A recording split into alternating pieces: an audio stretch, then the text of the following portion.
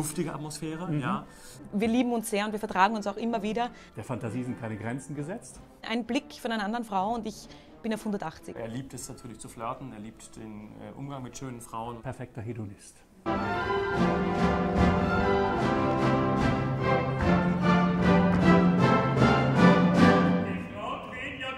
Der Herzog hat natürlich keine feste Beziehung, keine feste Frau, Freundin, wie auch immer. Ein Lebemann, wobei ich das jetzt überhaupt gar nicht negativ ausdrücken will, zumal auch in unserem Stück ist es sehr sympathisch, wenn ich das sagen darf. Ja, also ich finde den, find den sehr mm, mit Augenzwinkern und ach Ja. Mensch, und hier, und hier noch ein Küsschen.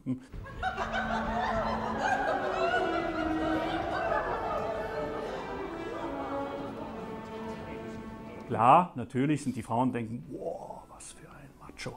Aber ähm, ich, ja, ich finde den ganz sympathisch.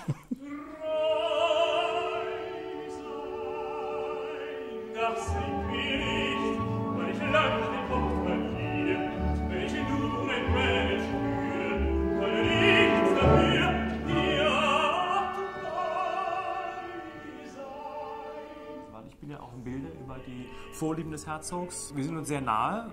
Ich brauche ihn natürlich auch, ja, weil ich mich in meiner Rolle äh, als Barbier des Herzogs mit Bedeutung aufladen kann. Insofern ist es ein gutes ähm, Dream Team. Game of Give and Take. Ne? Dream Team. Ja.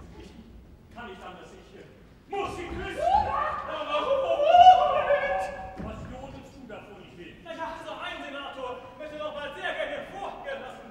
Naja, das mit dem Herzog ist ja eine spezielle Sache. Er ist schon eine interessante Persönlichkeit, würde ich sagen.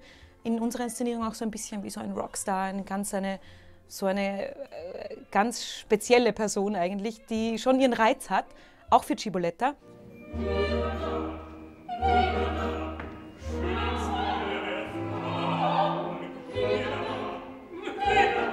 Obwohl sie immer wieder als ein bisschen dumm dargestellt wird, ist sie eigentlich sehr, sehr gefinkelt und hat ja ihren Plan.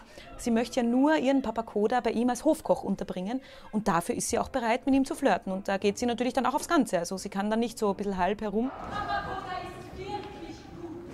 Er kann die besten Macaroni di Napoli und die süßesten Capezzolini di Bene.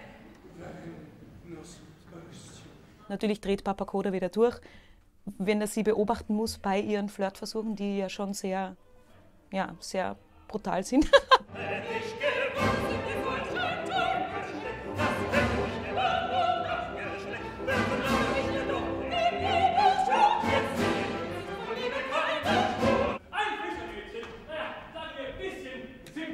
Natürlich kein Vergleich zu Ihnen. Schöne Signora. Ja, simpel. Red dir jetzt mal Simmel, du Nein! Hanina? Ja, Das ist ja Wahnsinn. Ja, der Caramello ist den Frauen auch nicht abgeneigt, würde ich sagen. Ja.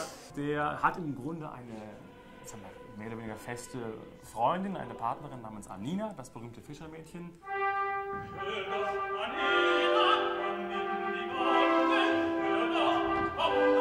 Insofern, der Caramello ist wahrscheinlich jemand, der, ähm, ja, der nichts anbrennen lässt, aber dann doch vielleicht in letzter Konsequenz spürt, dass die Anina die eine für ihn ist, die er wirklich liebt.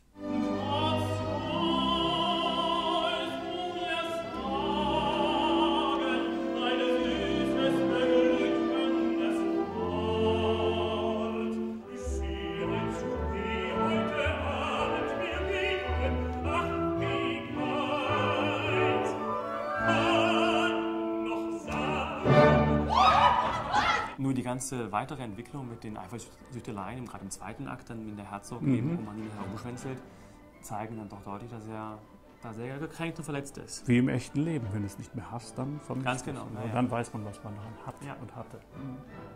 Komm, ich bin so weise. Naja, das macht das Alter.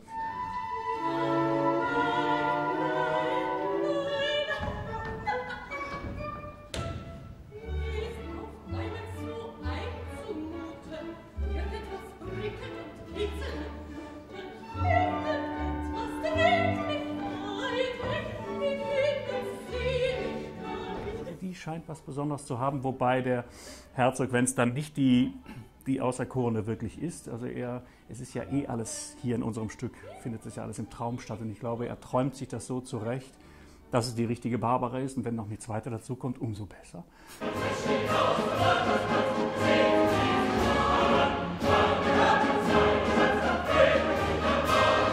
Also ich glaube, die Musik werden die Menschen auf jeden Fall lieben. Und das ist, nach dem Venedig ist einfach ein Klassiker, den man echt wieder mal spielen muss. Also es war Zeit.